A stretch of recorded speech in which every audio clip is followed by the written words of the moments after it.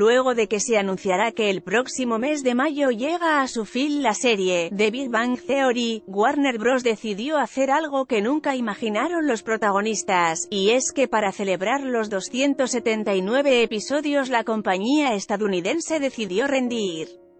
un tributo al nombrar uno de los estudios con el título de la serie, los capítulos de estreno de la última temporada de The Big Bang Theory, se transmiten todos los lunes a las 9 de la noche horas por Warner Channel.